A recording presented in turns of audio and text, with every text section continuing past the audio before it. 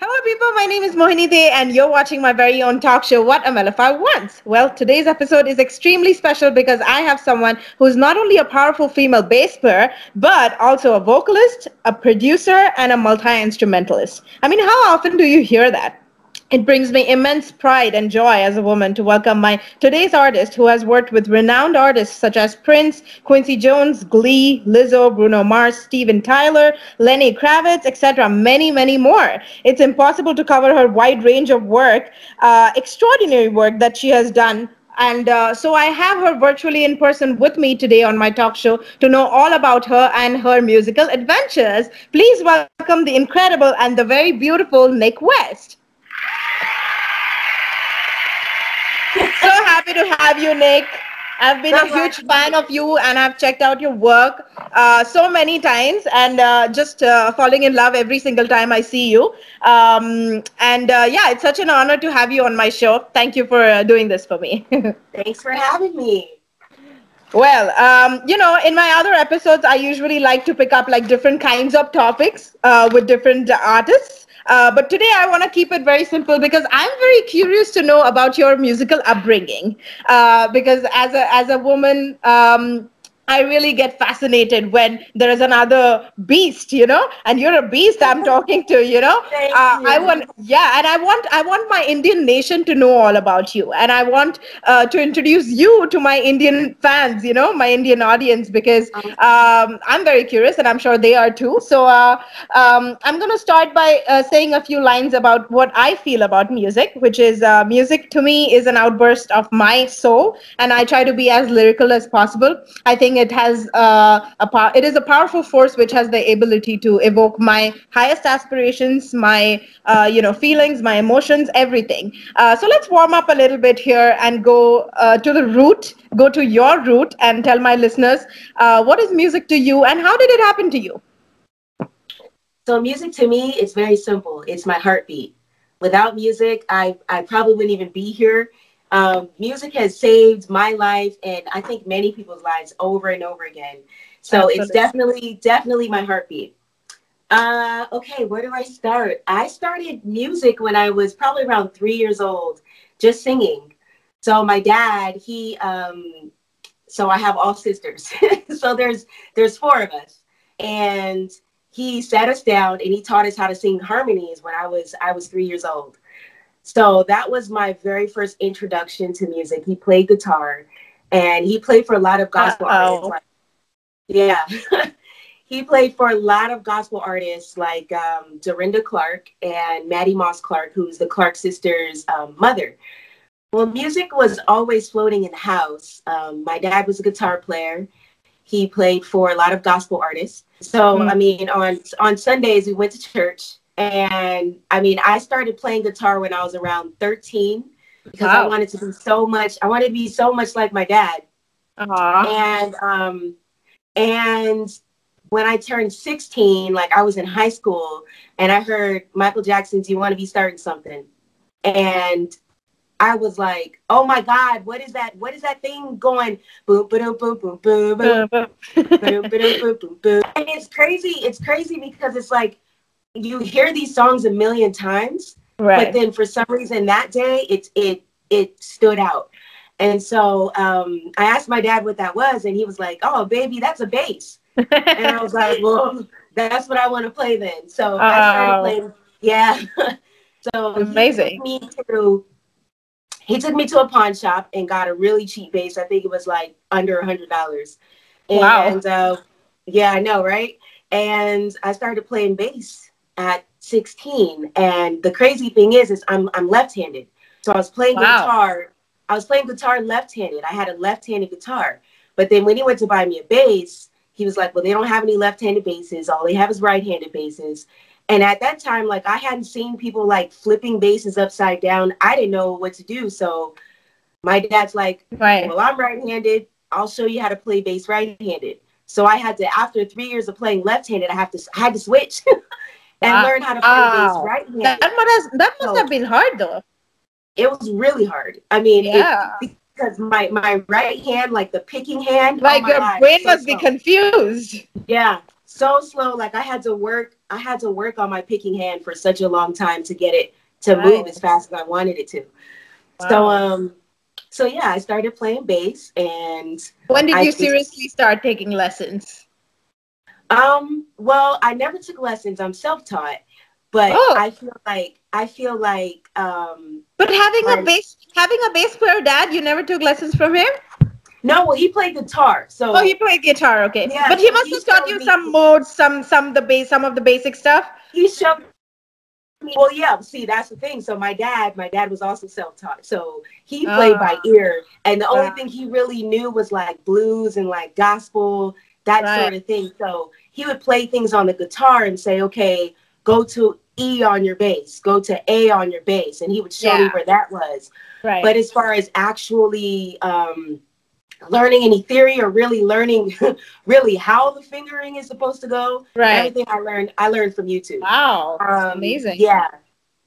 I got on I my my my very first like learning experience was when like my dad took me to church. He brought my bass. He had my bass amplifier.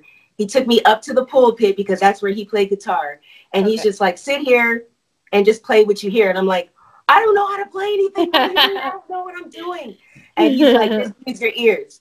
So I, I've been I've been using my ears ever since. So that was my very wow. first like that's learning that's a, experience. Wow, amazing. That's uh, that's pretty much similar uh, to my story actually, because mm-hmm. yeah, having a bass player dad myself, of course, he taught me a few things, but then it was my journey after a point because yeah. he was self-taught too, you yeah, know. Yeah. And then I had to teach myself a lot of other things which were important to survive. Yeah. you know. Yeah, that's crazy, amazing. Wow. Thank God so, for YouTube. oh yeah, all the dads. I mean having dads like we did, I think we were really lucky to have dads who pushed us to do something that we yeah. really wanted to do. You know, there are people and kids out there who don't get the same amount of support, and uh, you know, uh, even uh, you know having the same kind of mentality having parents as musicians or even parents just related to music or having an understand sense of understanding of uh, towards music really helps in upbringing of a child i feel. Yeah yeah yeah. If, if you want to pursue music professionally. So yes. tell me so tell me when was the time when you you knew that oh you were becoming a pro player and now you want to pursue this like professionally? You want to do this for the rest of your life was there a point in your life you felt like that or it just happened? It i never wanted to be a musician. I never this was something that was like oh my god i want to be like my dad and i want to play guitar.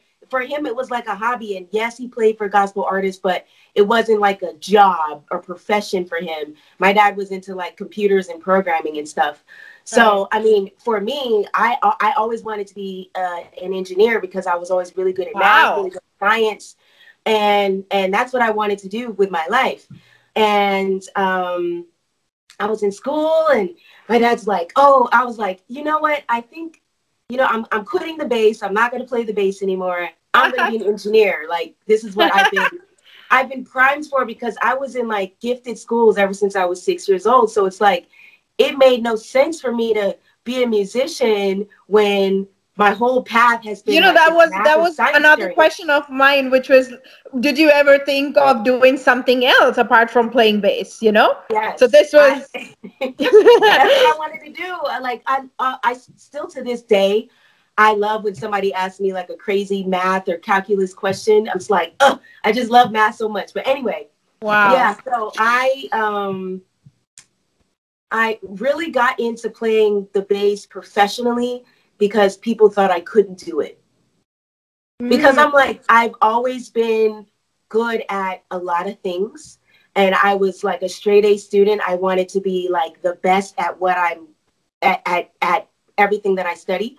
And the bass was the thing that people were like, oh man, you know, you suck. Oh she man, can't do it. Yeah. Oh man, yeah. Know, usually usually in india it's like usually in india if if um i mean back in the days when i because i was also you know um uh, when my parents had me everybody was like oh, you didn't have a son, you know, like you had a girl, okay. Know, they were not very happy, you know.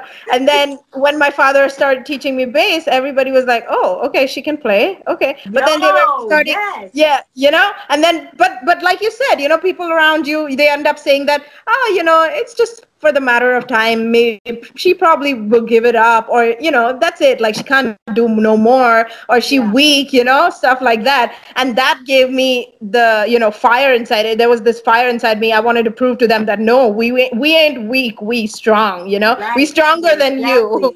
You know, I want to show you. Yeah.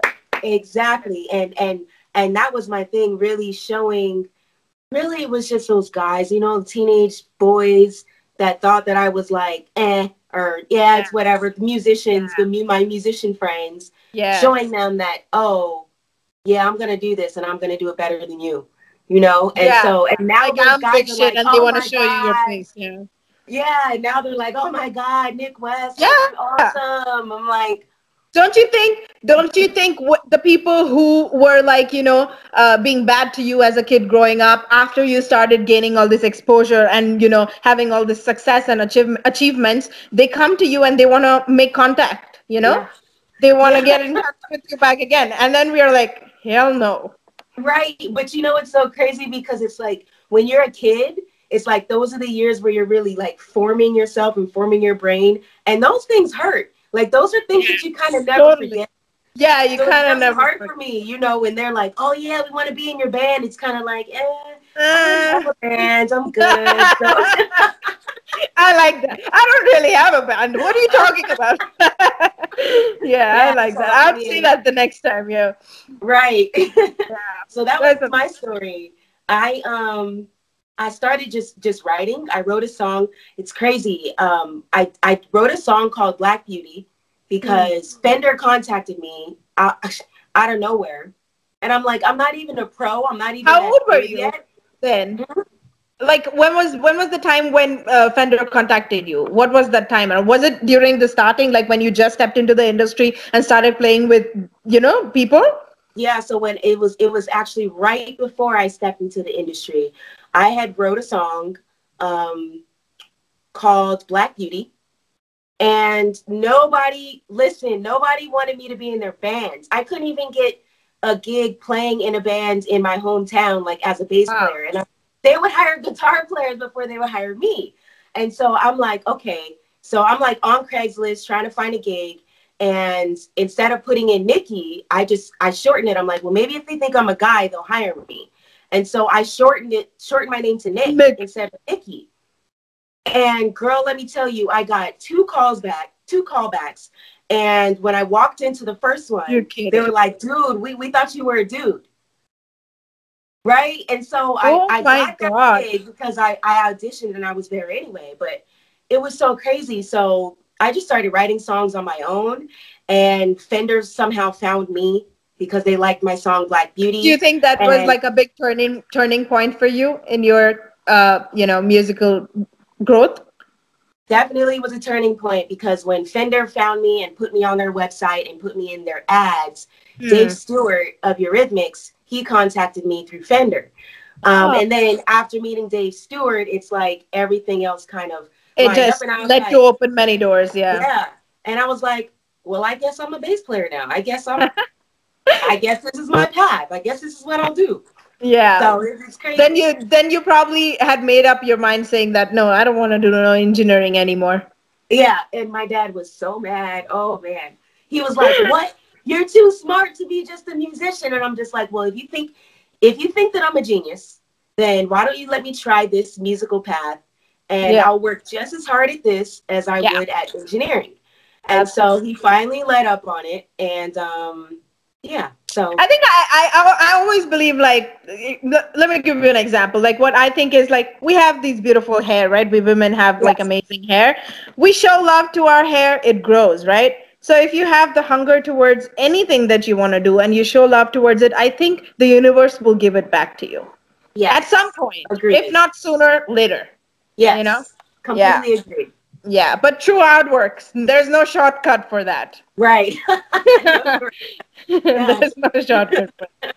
yeah, I want to ask you, uh, what was that first apart from this turning point, what was that first big thing that happened to you in your musical growth? Like for me, for example, when I stepped into the industry, the first person that I was introduced to was uh, Ranjit Barot, who was the drummer of John McLaughlin. You know, uh, he was very good friends with uh, my dad, and they were they used to play together. And uh, my dad took me to him, and then uh, he t- took me under his wings, and I started playing with him. And he was great at like you know polyrhythmic uh, stuff, and that's how my time got really good. You know, and um, and as Indians, we actually have great time because we're yep. good mathematicians, you know.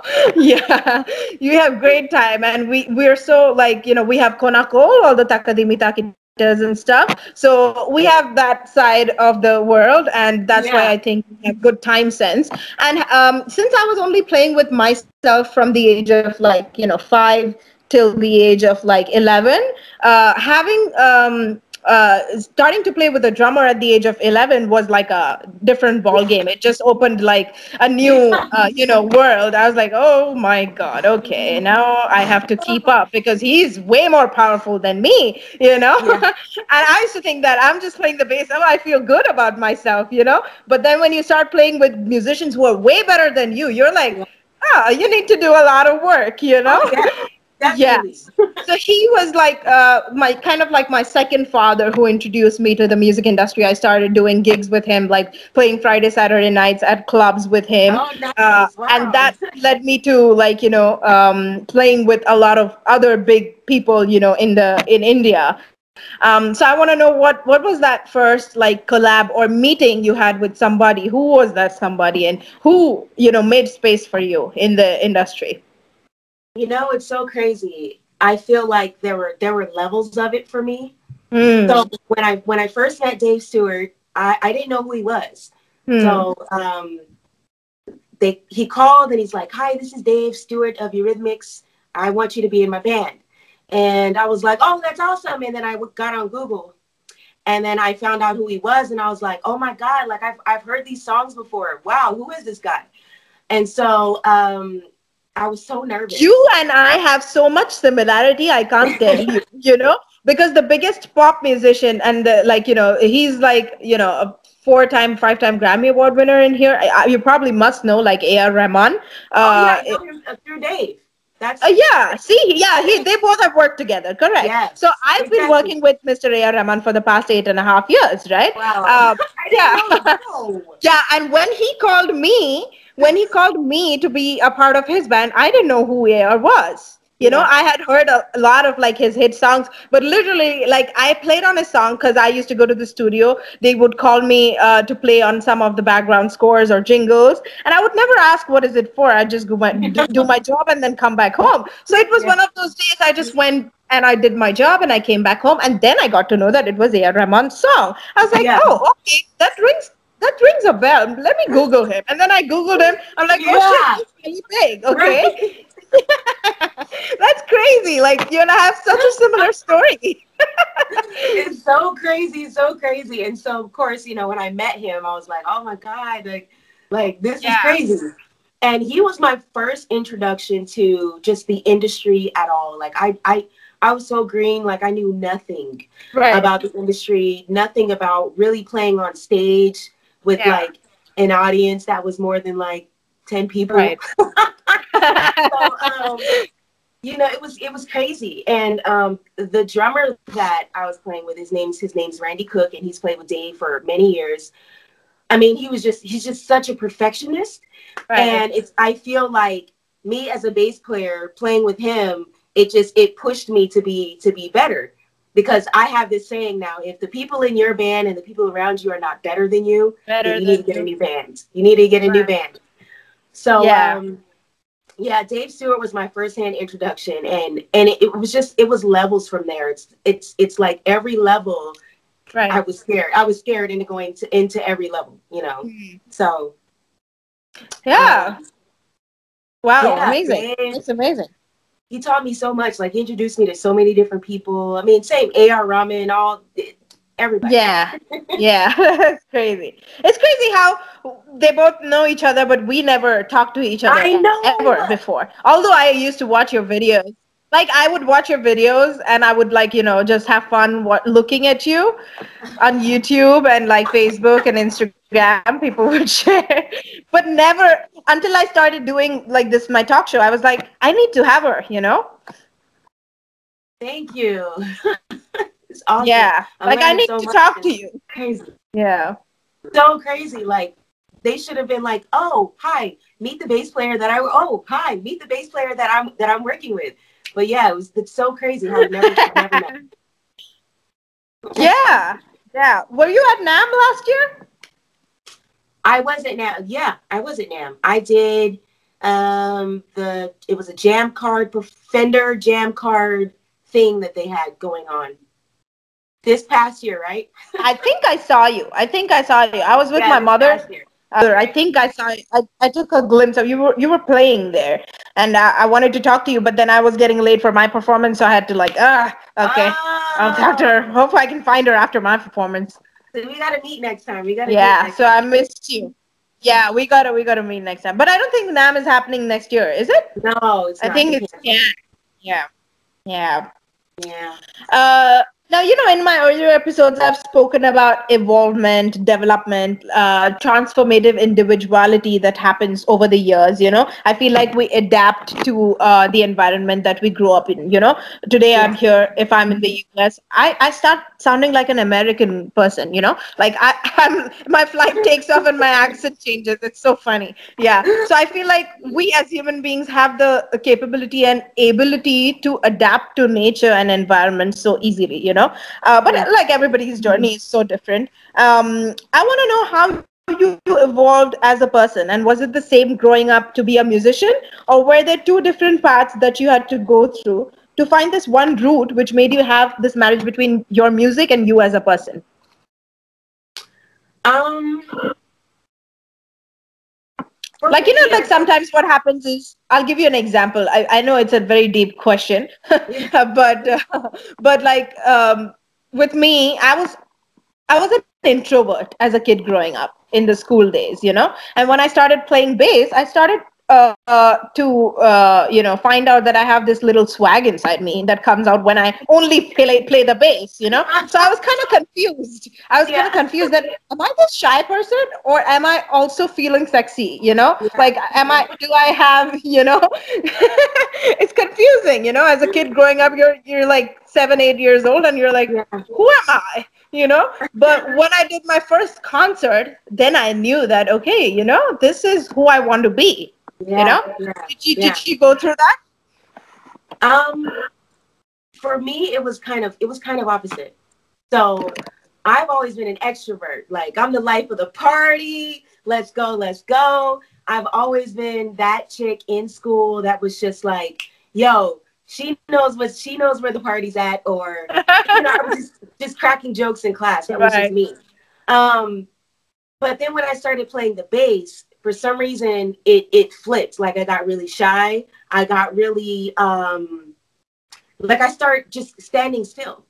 Playing the bass, standing still, you know, just doing and and really what it was is I was of course on YouTube and then watching other bass players videos and seeing that that that was kind of the standard unless Right. you were like Verdine White that right. was kind of the standard where you know everybody just kind of like stood there and Hmm. just kind of like play, Yeah. maybe bob their head a little bit, and so Or you could be like. Gary Willis, who dances in that same position and play, still plays his ass off. you, you know what I'm so I mean, you know, just have you know, it, it's it's it's the bass player like swag thing, you know. yeah. And so I was like, okay, that's what bass players do. I need to be that. And so I started doing like the bass player swag thing, you know, where I was standing still and just kind of doing that.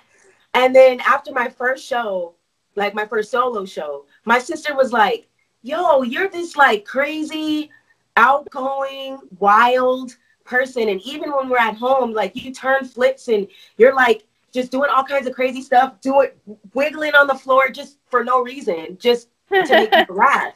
yeah. Why don't you take all of who you are? You love dressing up, like you love being completely outrageous for no reason. Take it to the stage. Yeah. Take it to the stage. Stop being Okay. stop being like everyone else. And I was Wow. like, really? You don't think that'll be like too much. He's like, be you, be hundred percent Be too much, yeah. Yeah. And so I started being hundred percent me, which is too much, you know, and People that's like that's what really much. works. That's what really works for me. Just because I Absolutely. was Yeah. authentic. Like, Now look at you, you're taking over the world. oh, man, Not just the God, stage. Yeah. I mean, that's that's my thing. And so it's like some people will probably look at a video and be like, oh no, she's doing way too much. And then they'll come to a show and they'll be like, okay, no, this is her. This is who she is. Okay, we get it now. You know, just seeing a picture Yeah. versus actually talking to me and like seeing Yeah, who I I, like am. that. I, I, I, I don't know? like I don't like people who are like two different personalities. Like on stage, they'll be like this wild, and then after you're off stage, you're like, oh hi, okay, okay, bye. Really shy reserved, right? Yeah, it's confusing. Like right. somebody else, you were somebody else up there, you know. right, right. So I'm crazy, so I, I take it all to the stage. Yeah. And Yeah, that's like a that's part of my whole brand. Absolutely. I love that. I love that about you. Um, you know, for a touring musician, practice routines uh, are different from person to person. Now we have all this time to ourselves. It's different. Uh, times have changed. And I want to know what has changed post this COVID situation for you. How was it during a normal day back then? And how is it now? Well, normal for me was touring all the time. Yeah. I was always gone. I was always going around the world, Yeah. doing my Did you shows, doing my did you find would did you find any practice time in between touring or your sound checks would be like Uh, The my sound checks would be my sound. Yeah, my sound checks would be practice.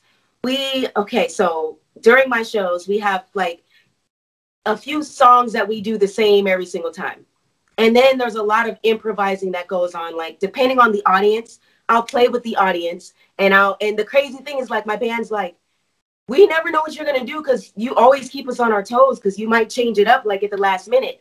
And so for me, I think I would get my practice time in with the band on stage, but then in the hotel room, I might say, okay, let me just practice this really quick in case I in case I use that on stage tonight. It's just right you know, so on Mm. tour, I feel like and are you the kind of person who uh, likes to warm up until an hour before getting up on stage or are you the kind of person who does not warm up at all well, I warm my body up mainly. Um, but you're but but that's like that's your personality you're already warmed up I'm I'm warmed up. I am warmed up, and te- let me tell you, like I don't drink caffeine or Red Bulls or anything like that. Like it's like I sleep, I I hold in all of my energy, and then like two hours before my show, I'll wake up. I wake up, you know, I'll I'll do my makeup, stretch a little Yeah. bit, and then like I won't talk for two hours before my show. that's another Um, thing i want to talk about your outfits. My god i effing love them. I cannot say the word because then i'll have to beep it out but love them. Who designed them? You designed them or Actually, it's a combination of things. So I actually minored in fashion design. So I've been I've been drawing like fashion since I was seven years old. I've been into fashion. So a lot of the stuff, like I might buy a cat suit, like a simple cat suit, and then I might sew beads onto That's it. another glue beads onto similarity we have, Nikki. I designed my own clothes too. No, are you serious? Okay, okay, we got to do something together because we're we're just too similar. We gotta crazy. do something. Yeah. That's so insane Oh because my you know I went to a fashion college too. I wanted to become a fashion designer. I wanted to become a fashion. I never wanted to be a bass player. No. wow, that is so crazy. Yeah, I'm I minored in fashion. Yeah. I, I took fashion for like two years, and um, I did. I, I was not aware of that. That makes me so happy. That's crazy. Yeah, I mean, I did. I did. You know, I can sew. I can. You know, pick, I pick out the textiles. I can make patterns. I Yeah. can do all that stuff. But I'm self-taught. so- like I'm not a pro at sewing, but like I can, I can, I can make stuff that people can wear and I can wear. But it won't be the most professional. Yeah, wow, that's so crazy. But yeah, so I, I'll like I'll deck out something like a simple cat suit, or I might sew something from scratch if I have the time. Or um, Yeah. like for some designers, like they just give me stuff. They're like, "Yo, we see that you like cat suits that are decked out. Here's some cat suits." So Yeah. kind of like a combination of Amazing. I love it. I love that pink uh, cat suit you have, and with your hair. I think Oh, that's yeah. also like it has like a highlights of pink. It's so cool. Yeah, love that. The feathers. Thank Yeah. Yeah, Yeah. beautiful. Uh, we're towards the end of the questions now. Um, just a few more, and then we'll play this rapid fire round. Um. Okay. Have you faced any challenges growing up as a musician? What was your biggest challenge? Um, my biggest challenge was, like I said, being left-handed, really learning how to play right-handed, and then being Hmm. accepted, being accepted by by the guys. You know, because there weren't like a lot of female musicians that I could be like, oh, hey, let's start a band. It was guys that I had to, I had to, I Kind had of to prove to- guys. Yeah, and so Yeah. um, so that was really hard for me because there was a point in time where I was like, I quit. I can't do this. Like, I'm not good. I suck. You know, I didn't go to school for this. I'm not good. And my dad Yeah. was like, I never went to music school too. Yeah. Yeah, it's it, it's like my dad told me he's like these boys. You're letting them get to your head, and just know you need to you need to you don't have to worry about being the bass player that goes crazy on the bass all the time. Yeah. Groove, Yeah. groove, Groove. and stay in the pocket. Learn how to groove and stay in the pocket. Absolutely. and that's going to get you paid. That's going to get you Yeah. jobs. The other stuff is going to be nice when That's they a big point at saying. you. But yeah, because all the guys I knew, they were doing all this like all the time, and they Yeah. thought that I sucked because I just wanted to stay in the pocket at that time because I was new to it, you know. But Right, yeah, that was right. a big challenge. Well, nobody got the pocket like you do now. So, You're so sweet. did you have any goals or dreams as a kid growing up? Um, well, I really just wanted to be the best. I was just that girl in class that was like, oh, I know the answer. Oh, you know, just a straight A student. I just wanted to be the best at whatever it was that I did. And anytime that I got less than an A, I would pitch a fit about it. So I was, yeah, I was just that girl that wanted to be. You know, I was such a I was such a dumbass. Like even if I knew, I was such a dumbass that uh, in my school, if I, even if I knew the answer, I would raise hand, and then people, my my teacher would be like, "Yeah, Mo, answer," and then I'd forget the answer, like or just like be nervous. Even if, like even if I know the answer, I I just go blank, and I won't say it because I don't have confidence. But it's so funny, yeah. Um. Uh. Last question. Uh, when did you hear of me? When was the time when, when you learned about me? I want to know. Uh, I'm curious. somebody tagged me in something on Facebook. And Oh, said, you know what? um, Scott's Bass Lessons. I think Huh? that was Scott's Bass Lessons. Maybe. lessons? I don't YouTube. remember. I don't remember what it was, but I think somebody might have tagged me, and then I think it was like um multiple tags of like female bassist or something like that. And you know, Yeah, so because, because Scott, the, the the bass player Scott, who does the Scott bass lessons yeah, yeah, thing. Scott. I I interviewed with him a couple of times, and it, it might Right, have so been- he made a video. come from his page. Yeah, it might have come from his page. Probably. And, um, yeah, that was the first time. And the crazy thing is, is like I, I I'm on Facebook, but then like I don't see my tags for like weeks sometimes. So I went in there and it was like a few weeks past, and I was like, oh, this is great. And I'm like, I feel like an, if I respond to this, I'm gonna feel like an idiot. Like he posted this like a month ago, and then he did like I think he did a um was it the female basis thing that he uh video that he did yeah, I think uh, the top ten or something. The top five or yeah, top I ten. think- something like yeah, that. I think yeah, something like that where he did all females, and it was really great because Scott's really good at like it, people that I don't know introducing me. Like I know Ida, I know Divinity, um, but I didn't know you, and I think there there might have been somebody else on there that I didn't. few know. more. I Yeah, yeah, yeah. this is amazing. I was, yeah, I know. I got to know a few more. I was like, wow, I didn't know them. Then I went and I checked them out. I was like, wow, there are some exactly. bass players. Yeah, and then and he was like picking out. Uh, Scott was uh, taking uh, each of our special licks and trying to play them on the bass, and he was like featuring us. okay, okay, okay. Yeah, it was cute. Yeah. I love. Um, so sweet. I want to know this. How much of your playing, especially uh, solos, is completely improvised over chops and patterns that say you have worked out before? Because, you know, some situations need that. Um, And uh, um, say you worked out before. And if it's both, then how do you keep the balance? I'd say that it's both. Um, It's some both. of them are worked out. Some of them are worked out uh, prior to. I mean, Mm. like the basics. Like, okay, I'll probably play this combination here. Sometimes it changes when we're on stage. Probably because Yeah. I forget. Probably because I forget and do something else. Um, some of them are Yeah. completely rehearsed, where this is the solo that I play because crowd the crowd goes wild with this particular combination of it. So this is the one that I'm going to Absolutely. play. Some some time. solos are just over. Uh, some solos are just evergreen. You can't Yeah. change it because Exactly. people would want to hear that. Exactly. Yeah. And then there are some that are completely improvised on stage. And if you ask me how I Yeah. how I did it and to do it again, I probably would have to watch the video to figure out what I did because I don't even know. Right. Of course. But so, I yeah, a like combination of both. do you enjoy that freedom do you enjoy uh the freedom do we just you know jam on stage and you know I do. Um, I'm a person that it it structure is hard for me. structure is hard And this is Hmm. probably why so you know, I've played with, you know, different artists and stuff like that. But Dave Stewart's the one that fired me. He was like, okay, you're an artist, you're a bird, and you need to fly. So I was like, no, but I'm a bass player. But no, but I want to play, you know? And so yeah I realized after that moment, it's like people were saying things in me that I didn't even see in myself. Like, okay, I'm a solo artist. I need to be in the front and I need to, you know, do what I do best.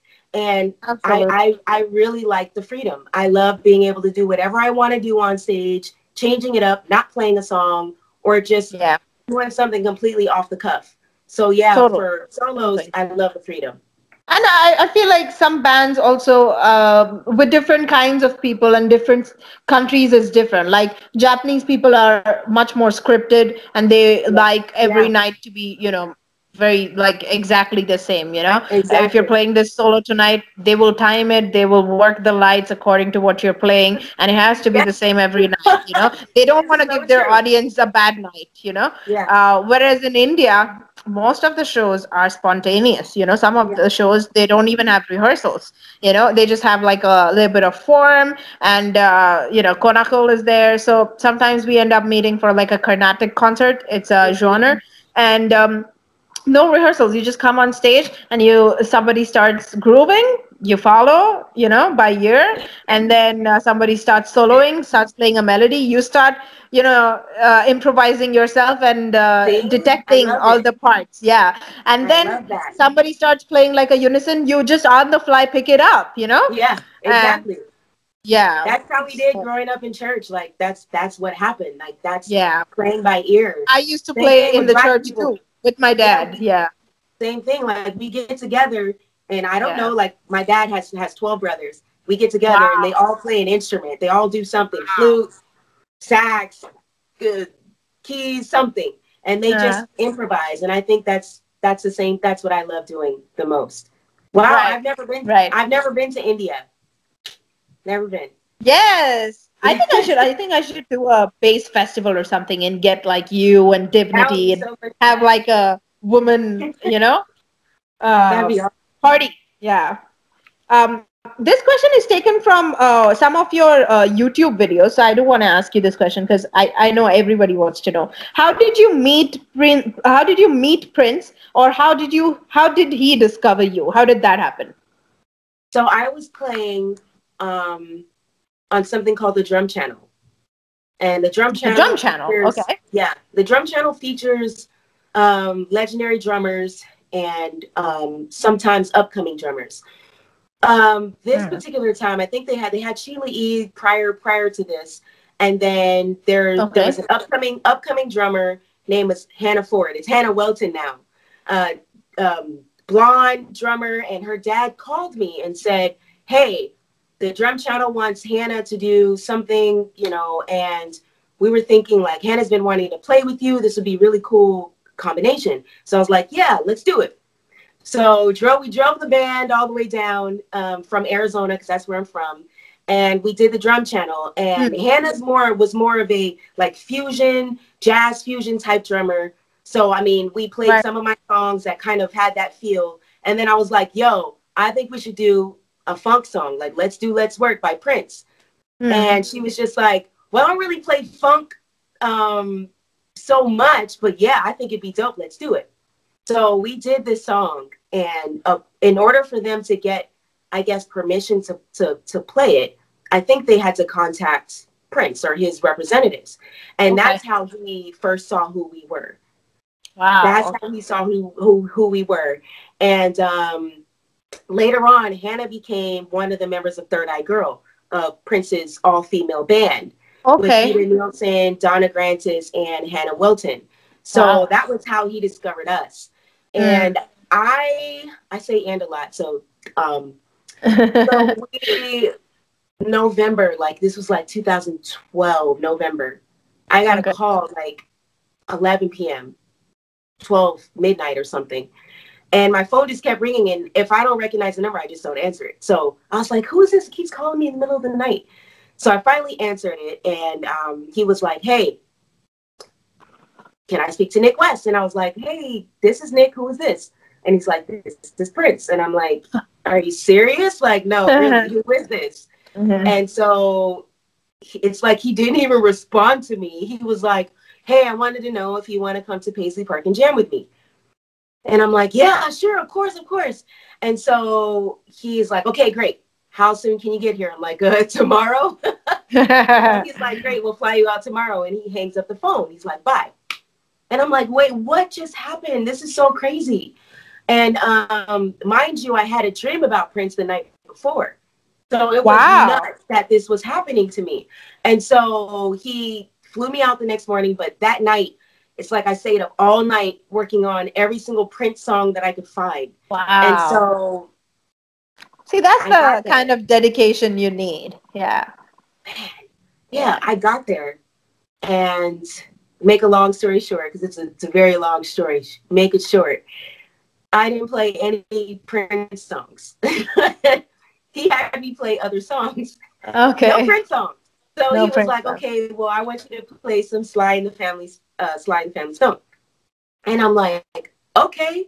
He's like, do you know, thank you for letting me be myself again. And I'm like, uh, yeah, but it's so crazy because I'm like, I didn't practice that. Like, I don't really know it. And he's like, mm-hmm. all right, play it. So I'm like on the spot having to play this song that I, be honest, I never played before in my life. And right. so I started playing the song from what I remember, from what I've heard before. And so he's like, okay, great. And I, I, I, on stage, I do like a demonstration of how I played it versus how he played it when he took my bass. So he took right. my bass and he like slapped it like crazy. And I was like, oh my God. And so he was like, all right, now you play it. This whole time, like I was so nervous to play around Prince. Like I had it's like I froze. I couldn't play. I don't know what was wrong with me. It was nuts. And by this time, I was already a solo artist. So I was already doing my things, had already met a bunch of people. Um, hmm. So it's like I should have fit, but it's Prince. Like, how do you? Yeah. Yeah. And so um, he made me feel really comfortable. And after that, he he's like, walk with me to my office. So I went to the office with him, and he was like, okay, if you want the job, the job is yours. And look, Mo, I'm telling you, to have a job like that would have been like my ultimate dream. Yeah. But like Dave Stewart had already said, you know, you're a bird, you need to fly. It's like that's all that I could think of. It was like, okay, but I know that I want to be a solo artist. I know that I really like this freedom and but it's Prince. And so I ended up not taking the job because what? I didn't take the job because I wanted to continue like being Nik West and, and having this freedom and doing what I did. And it was and and people are like, it's so stupid. Like, do you know how much Prince pays? And I'm like, yeah, I know how much Prince pays. Like, I have friends that work with Prince, yes. But yeah, um, yeah.